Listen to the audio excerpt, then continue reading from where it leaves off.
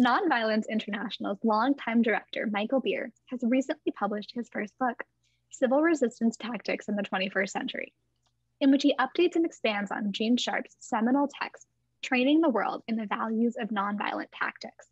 Why did you write this book? Why now in 2021? I believe that nonviolence will save humanity and improve our lives. Dr. King said we have a choice between nonviolence and nonexistence. I don't think he was exaggerating.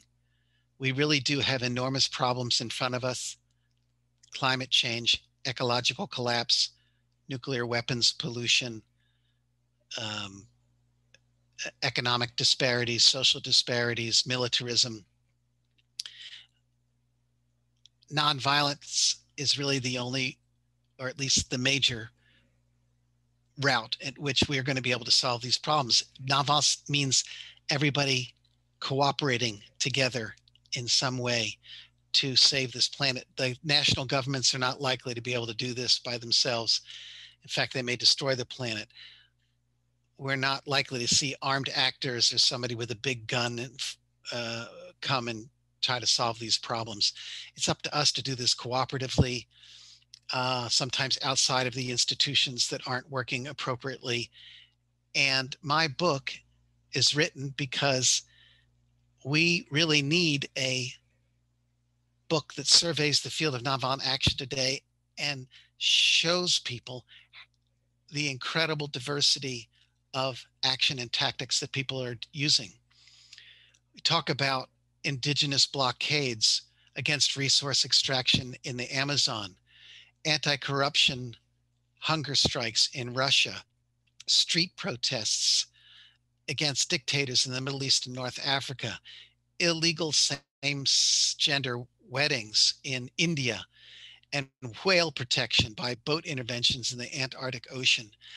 This is just a small sliver of the nonviolent actions that we talk about in the book and that we have also listed in our global tactics database that goes along with the book.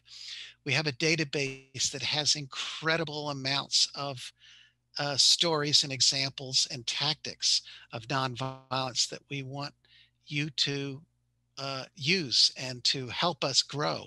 Please send us stories, examples of tactics that you're aware of in photographs so that we can include them in the database and build a global database that everybody can benefit from. So this book is short. It has lots of stories of nonviolent action that I think will inspire, uh, share the incredible creativity of people around the world. And this was the kind of book that needs to get into classrooms. It needs to inspire young people. They need to know that there are things that they can do in all different kinds of situations, even repressive circumstances. And we do have governments, both authoritarian and even democratic ones, that are closing the common space for doing action.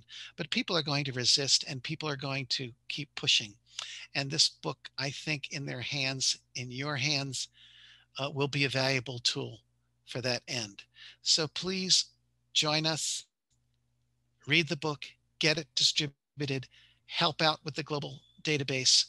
And more importantly than just reading the book and getting knowledge, be inspired to do something because knowledge is not enough. We need your action. Thank you. Thank you so much for sharing your work with us. The book is available for free download on Nonviolence International's website and for purchase online. And I really hope that everyone takes the time to read this truly inspiring book.